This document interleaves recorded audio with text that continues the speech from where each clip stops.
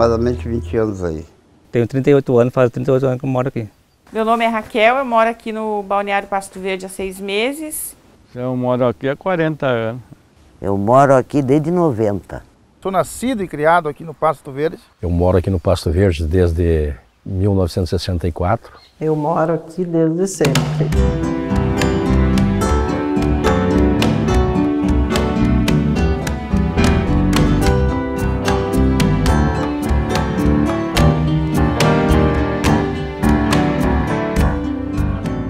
Essa parte aqui onde nós estamos pertencia para do Sol.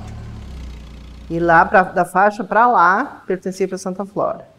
Aí era um impasse. O subprefeito do Arroio do Sol, como não, nós não temos saída aqui, a nossa estrada só tem saída para lá, na, lá na rodovia, né? Como não tem saída para cá, o, o subprefeito do Arroio do Sol nunca nos quis. Nós era abandonado. Aí o subprefeito de Santa Flora que vinha fazer alguma coisa aqui. E aí depois a gente começou a lutar fazer um distrito, né? E aí a gente conseguiu.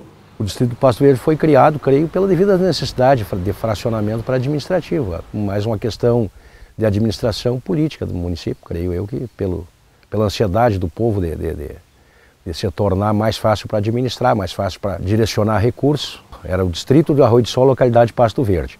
Depois houve uma alteração, não sabia ter precisar datas, passou a pertencer Pasto Verde distrito de Santa Flora e depois foi criado o distrito do Pasto Verde. A gente fez um abaixo assinado, nós corremos, fizemos um abaixo assinado e levamos para a rádio Imembuí, para o Vicente Paulo Visoni, na época. Ele tinha um programa de rádio e a gente levou, aí nós conseguimos fazer o distrito se emancipar, a localidade se emancipar.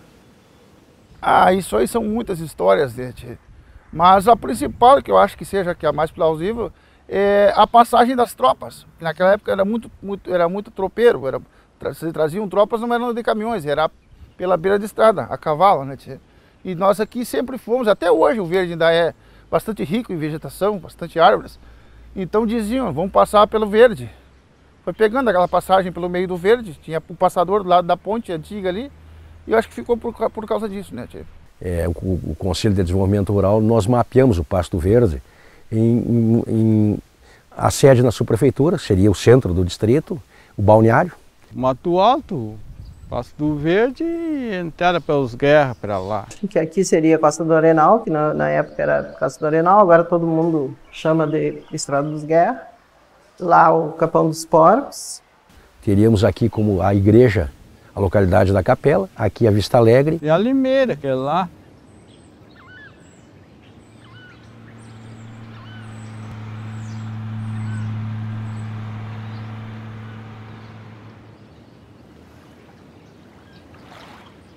Aqui era meio deserto. Casas tinha. Essa aqui é a mais antiga. Essa casa ter uns 70 anos. Essa do lado, que é minha, do lado ali, não tinha. Quando nós chegamos, estavam fazendo ela. E a bem da esquina também não tinha. A outra do fundo também não tinha. Era um mato, bem dizer. E as ruas também eram intransitáveis. Falavam em 300 casas. Não sei se tem isso aí, eu acho que tem, porque o rio levou umas quantas, mas construíram outras também. Deve ser mais ou menos isso aí, na base de 300. Isso aí sempre foi essa calmaria, isso assim. Claro que não está igual no movimento, porque o movimento dos outros anos era muita gente, e agora não. Tem muita gente morando. Ah, eu lembro do, passado que tem, né? Que a gente trabalhou quando era mais novo, e dava com lavrar bastante, camperiar. O verde, ele era naquela época assim mais movimentado em virtude do balneário. Naquela época era um balneário de, de ouro, né? tinha dos dois lados da faixa. Era uma loucura de gente. As festas de navegantes que aconteciam, assim vinham mais de 15 ônibus de pessoas. Nós começamos aqui foi o em 20 de março de 2010, foi a primeira procissão que teve. Foi no, no, no tempo de seu Valdir, foi a época que, que esse balneário funcionou a, a, esposa dele que tinha câncer e, e, queria botar. Tem uma imagem da, da, da, da Imanjá. Que a Imanjá aqui no Passo Verde é errado. A Imanjá é, é do mar. Aqui no Passo do Verde teria que ser a Oxum, que a Oxum é da água doce. Mas como ela era devota, né? Aí eu disse para ela, pode deixar que nós vamos botar. E infelizmente ela morreu antes. A imagem foi o centro que doou para a comunidade. Não é só do Passo Verde, é para Santa Maria, de onde quiser. Que nem todos têm condições de, de, de fazer a procissão, que é no dia 2 de fevereiro, que é em, em Rio Grande. Tem tudo que é mais, Rio Grande é o maior. Então os que não têm condições, vêm aqui no Passo Verde.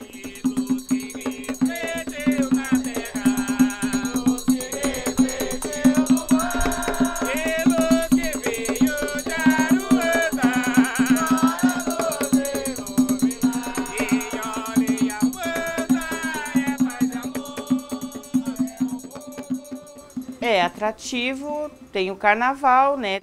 Festa da comunidade, da Nossa Senhora da Aparecida, que é ali na igreja. Tem acho que duas ou três festas por ano. Eles têm um grupo de terceira idade também que fazem jantar baile lá no salão. Fazem ali no, no salão ali da igreja, fazem.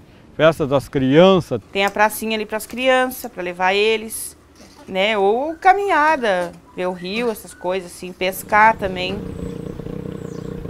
Olha, no Pasto Verde nós criamos aqui, já está há 27 anos, um CTG. CTG Criança do Verde, está aí.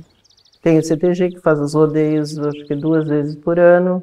E a sociedade é o, é o local assim que sai todas essas atividades festivas de, de carnaval, festa junina, desses dias assim mais comemorativos, né? Saem tudo ali na sociedade. Tem a associação de moradores que também fazem almoço no domingo.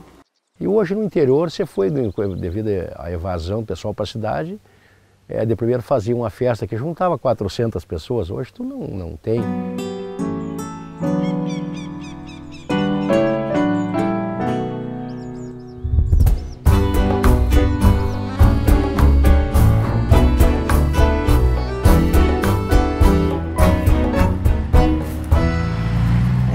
Foi uma escola, mas quem foi a primeira professora foi a minha mãe. Essa escola aqui, esse prédio aqui foi inaugurado em 1900 e, acho que é 66, não tenho bem. Eu era aluna da escola. Eu lecionei aqui durante é, quase 20 anos. Depois saí e fui lá para a faixa, né, para aquela outra escola de lá. Quando desativaram aqui. Essa escola, ela, ela era em outro lugar aqui para cima, num vizinho nosso aqui. E por problemas particulares dele lá, ele quis a terra de volta para plantar, para fins deles, né? Então aí nós tínhamos essa parte aqui, aí a minha avó resolveu doar. Meu avô, meu avô é uma pessoa assim especial. Eu acho que ninguém aqui do Verde tem um pensamento diferente. Então o avô, certo, tinha, alguma vez tinha dito para a avó e a avó disse, não, vou fazer o que o Irineu fazia, era ajudar. A avó prontamente cedeu o espaço aqui e está aqui a escola, graças a Deus, né, tia? Eu estudei na época, era aqui em cima. E estudei onde que é a igrejinha lá, estudei lá também. Que a Maria Helena foi minha professora. Até a quarta série eu estudei com ela lá. Era a Escola Reunida Municipal Passo do Verde. A minha mãe deve ter sido, que o nome dela é Neuza Xavier Faria, com a professora Sinhá Alves, Zeli Brantes, deve ter sido as precursoras, porque aqui no Pasto Verde tinha uma grande população na época. Era assistido pelo, tinha um acampamento grande do Dyer aqui no próximo aos Antolines, que só ali tinha em torno de 150 a 180 alunos. Então era um colégio, na época, para a época, muito grande. Ali a Irineu Antolini é até a quinta série. Depois, no caso, se a gente continuar morando aqui, eles vão ter que estudar na Vila Bloch. Em relação à escola, é uma escola boa, né? Os professores são bons, a diretora também. Tem a van que busca eles, o transporte é gratuito. Então isso é uma coisa muito boa, ação boa, né, que a prefeitura deu pra gente, porque é complicado, né? No caso, eu tenho três netos, como é que eu vou pagar van? Paga individual. Você sairia muito caro, não teria nem como morar aqui.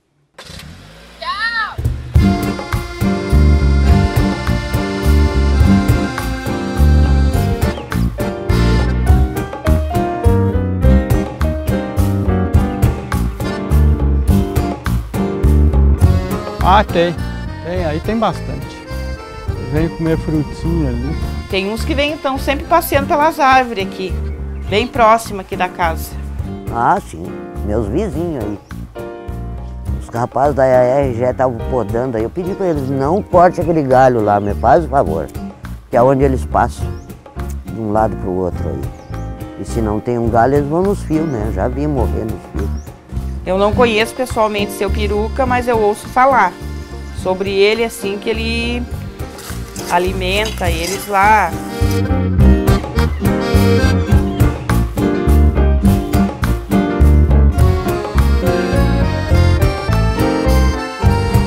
Tem uma lenda que do outro lado do rio tem uma cobra gigantesca que mora ali. Só que eu nunca vi, né? Não sei se alguém já, já viu. Olha, eu, eu cheguei a ver essa cobra, mas ela não está mais no ver, não. Foi embora. Essa cobra era moradora aqui, no fundão que eu vim para cá. Eu calculo uns 5 metros. Pelo rastro que eu vi, uns 5 metros. E eu via lá nadando também, era uma cobra bem grande. Ah, ela foi embora com a enchente. Ela veio com a enchente e foi embora com a gente. As enchentes elas foram uma constante aqui no Verde, né, tia? Porque até porque por causa da várzea ali embaixo do banhado, ele, ele é praticamente quase o barranco é, é baixo do rio e quando vem as enchentes, quando chove muito em Rosário e São Gabriel, a gente já espera aqui que vem enchente. Ela é acrescente, ela é garantida. Choveu em São Gabriel e Rosário, o verde vai botar para fora. Aqui eu não vejo quase enchente porque é um lugar alto, mas ali no verde às vezes dá bastante. O pessoal tinha que tirar tudo as coisas de dentro de casa ali, porque aquelas casas empareiavam tudo de água. Aqui nós não dá enchente, vai até ali, Rochilha ali, sei lá, dá um quilômetro e pouco lá de casa, mas é longe. Mas não, nós não tem problema. Sei que lá no balneário dá bastante. Aqui na, no, no balneário, quando o cara cruza na ponte ali, a água quase pegando na ponte. Tapa tudo o balneário ali. Então a gente já meio que se prepara, pode, pode cuidar as casinhas do balneário ali, a parte de baixo é de material. A parte de cima é de madeira. Por que a parte de baixo é de material? Porque vai tomar umas 10 enchentes por ano. E às vezes vem enchentes grandes, né, tia? Como está acontecendo agora, os intempéries estão cada vez mais, mais, mais, digamos assim, mais radicais, né, mais fortes. Tem enchentes aí que vêm e ficam duas semanas, né, tia? Então isso aí deteriora toda a estrutura de uma casa, então tem que ser de material. A gente se prepara, é, quando começa a água a crescer, que a gente vê que vem enchente, a levanta umas coisas e vão lá para cima, no segundo piso. Às vezes passa quatro anos sem ter enchente. E tem eles que vêm uma em cima da outra. Eu peguei uma que peguei 11. Ela baixava e já vinha outra. Vamos pensar um pouquinho. 89, não, 98. Eu sei que foi nessa base o primeiro ano do El Ninho. Teve 13 enchentes em dois meses. O total de enchente foi 15, mas 13 nós pegamos aqui. Terminava uma e tinha outra. Agora a gente está definitivamente aqui. Não tivemos nenhuma enchente ainda, né? Graças a Deus. Mas vamos ver como é que vai ser quando tiver. Experiência com eu estando morando aqui já, eu não tenho ainda. Meu velho foi lá no, no, no posto, que o posto da polícia naquela época era do outro lado aí, no Amaral. E veio com salva-vidas de lá para nos ajudar. A levantar tudo, porque era uma água que, mês de janeiro, onde é que tu viu uma coisa dessa? Não, não terminava uma, tinha outra. 13. Essa conta eu sei direitinho. O tio Carlos, lá, o tio Carlos era estreante nessa época aí. Se apavorou, disse que ia embora. Mas não foi, está aí até hoje. Ah, é de é uns 10 dias. É o, é o máximo de 10 dias.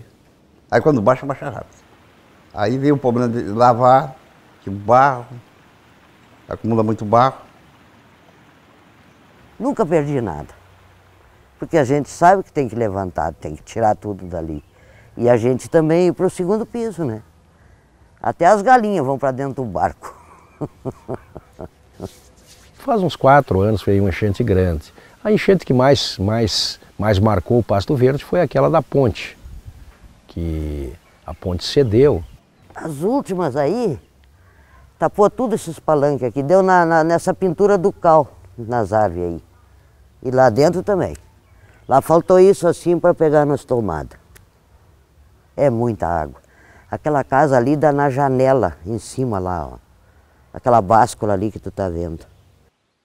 Cansei de ajudar meu pai na época aqui, que eu era gurizote, 10, 12 anos, 13 anos, de tirar gado da enchente, né, tia? Vocês não dava tempo. Vô, meu avô tinha bastante, tinha um gado mais ou menos aí, então às vezes ficavam os animais no meio do mato lá e a gente tinha que meter o peito na água e tirar o gado da enchente, né? Tipo, agarrava pela guampa, pela orelha e puxava.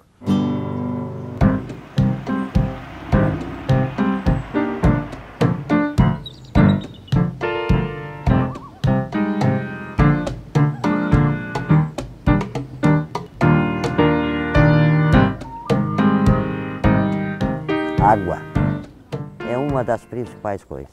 Não, de beber não tem condições de beber. Eu tenho os papéis aí quando eu tirei do bolicho, mandei fazer a análise. Todos os que mandaram junto comigo contaminados. 18%. Tudo. Então isso aí tem que trazer da cidade, não adianta. É que assim ela não é considerada potável porque como a gente não tem não tem esgoto, né, não tem essa instalação de esgoto que tem na cidade, é os poços então tem a gente usa a fossa. E aí automaticamente a contaminação da água. Só se for que nem tem alguns vizinhos que tem um artesiano que é bem profundo e tal. Mas esses nossos aí não, não tem como por causa disso, da contaminação. Nós temos poço, poço comum. É, a maioria é poço comum, porque não, não tem, nós não temos corsã, água da corsã. E tem alguns que fizeram artesiano. É, a minha água, eu tenho água de cacimba, de poço, como você diz, não tem problema nenhum. Tem a escola Irineu Antolim ali, que a gente, que é onde as crianças estudam, que ali tem um poço artesiano. Aí abastece toda a comunidade aqui do balneário.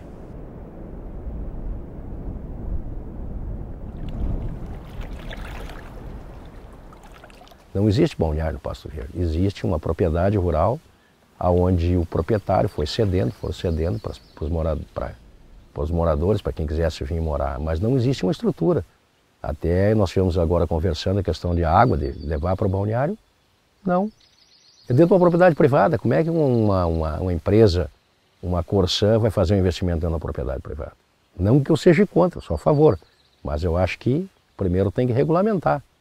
Cabe ao proprietário, cabe a não sei quem, não.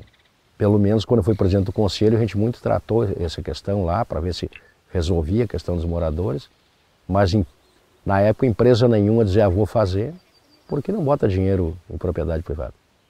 Nós temos, acho que mais de 30 famílias que moramos direto aqui. Mas na temporada sempre vem mais gente, né? No inverno cai bastante.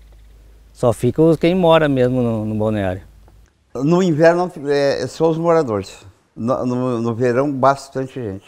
É, mais de mil pessoas assim no fim de semana. No verão é bem melhor, né? Porque, consequentemente, eu vendo mais comida, mais pão, mais, mais lanche. Ah, isso vem caindo mais de 40% por ano o movimento. Carnaval, que era uma das coisas muito lindas aí, não existe mais. Eu vou ali atender e já volto.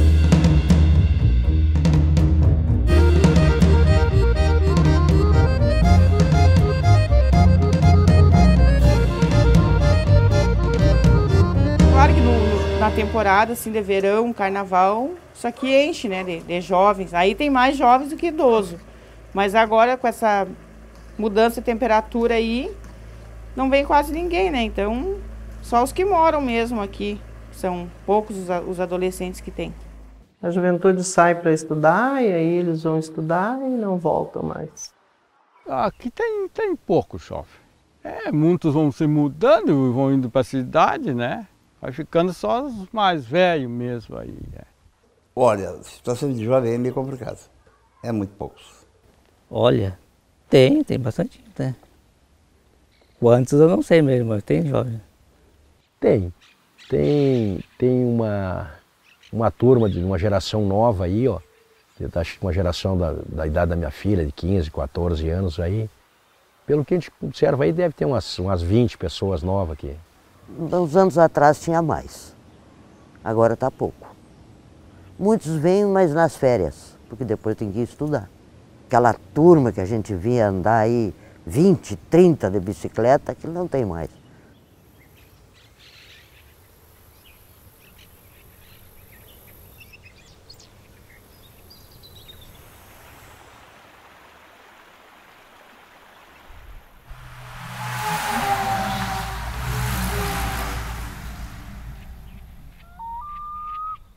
Economia, eu, é a plantação de, de arroz e soja, né? E as areias, é os que movimentam isso aí. Ah, tem os fazendeiros e tem os que plantam também. É. Plantam soja, arroz já é mais para longe daqui, mas aqui é mais é soja. Soja e gato. Eu acho que é uma atividade mais forte que predomina mais para esse lado aqui é a extração dessa da areia aí, né? Tem bastante areieiro. Olha, o Distrito Pasto Verde é um distrito altamente produtivo. Creio eu que hoje, não saberia te dizer com 100%, mas deve ser o segundo distrito mais de maior arrecadação do município de Santa Maria, porque tem várias areieiras, é, grande produção de gado, soja e arroz. Arroz até que não está muito em função da soja ter expandido muito. Era do vô, o vô que começou com a areieira. Aí depois foi passando para o pai. Tem o meu tio também que tira junto lá embaixo. Eu vi, eu vi muitas histórias assim da, da dificuldade. O meu pai foi um que carregou muito caminhão a pá. Olha, tu, tu pensa bem, pegar uma, uma, uma carreta, um caminhão truque, que aqui isso vai 8, 10 metros de areia, na pá, para tirar lá para cima do caminhão. E depois de subir em cima do caminhão, espalhar aquela areia, descer de novo e continuar carregando. Era boi, né? Aquele ele que está ali em cima, era a boi, poxa. Eles tiravam do rio e botavam para barranco, para fora do, do, rio. Aí depois aí eles vendiam para levar para a cidade. Aí carregavam de pá em cima dos caminhões. Não tinha máquina naquela época. Aí depois quando eu nasci em 79, que veio a primeira máquina que o pai comprou. E o resto aí começou a ser com máquina. No Pasto Verde deve ter umas 10, 11. 10, 11 areia. Nós temos uma pesquisa, saía em torno de 80, 70, 80 mil metros de areia por mês daqui. A areia, a maioria da areia daqui vai para a serra, né? Não, não fica só em Santa Maria, mas para a serra vai bastante. Até Santa Catarina tá, vai areia daqui.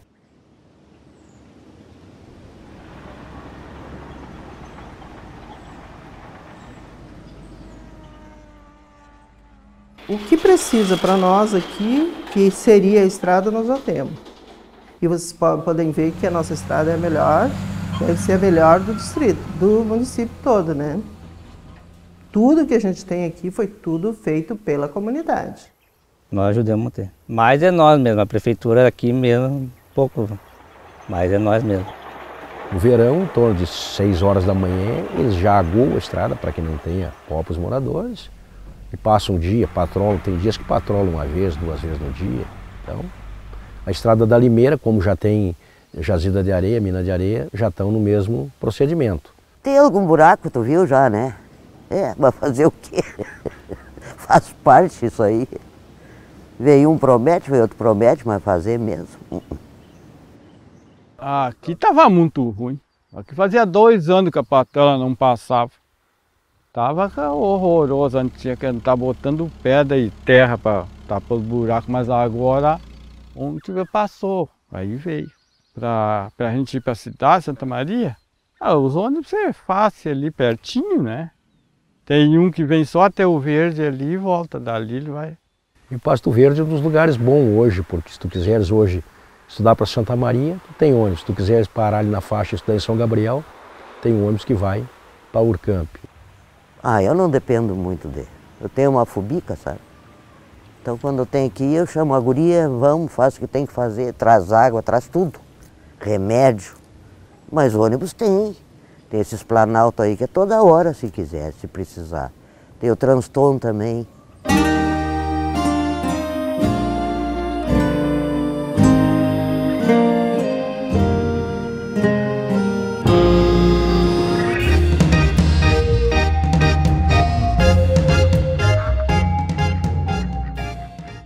Aqui porque é um pessoal calmo, né? Muitos anos morando aqui, gosto muito de morar aqui. As vizinhanças tudo bem, é, você dá bem tudo. É. Mas eu, para mim, o verde é mais do que especial, né, tia? Até pela minha história de vida. Mas tá, a gente está aqui agora, está vindo a calmaria que é isso aqui. São pessoas que tu pode chegar em qualquer casa aqui.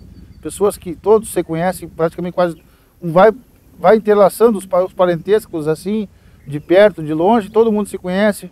O que tem de bom aqui, ó, é, é tu tá tranquilo, tu, tá, tu pode ficar até dormir com a casa aberta, por enquanto, ainda dá ainda. O, tu pode deixar uma roupa lá de fora que não rouba, tu pode criar uma galinha que não rouba. É um lugar bom de morar, um lugar que é um lugar que quem chega fica, isso com certeza, porque todo mundo se quer bem, todo mundo se respeita. Gosto. Aqui é um lugar calmo, melhor que na cidade. Prefiro morar para fora. Olha, para mim é muito bom, sabe? É bem mais tranquilo, não tem toda aquela agitação da cidade. me dou bem com todo mundo, assim, os vizinhos são, são tudo gente boa, assim, não tenho, não tenho queixa de ninguém, sabe? É tranquilo, é, é bom, sabe? Eu faço as coisas que eu gosto. No verão tomo banho de rio, faço fogo no fogão a lenha, na lareira. Então são essas coisas assim que eu gosto. Eu gosto de estar aqui, de, de caminhar por aí com as crianças, da natureza, enfim. Para mim é muito bom. Eu me sinto muito melhor aqui do que na cidade.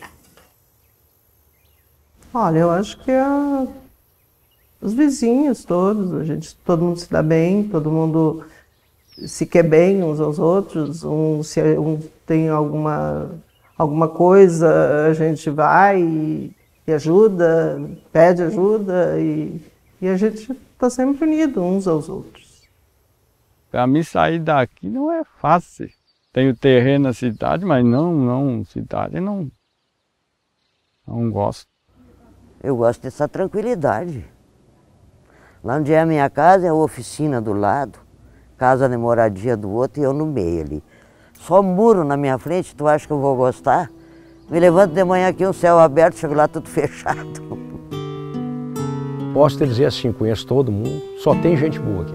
O ruim aqui não fica, faz com que ele vá embora.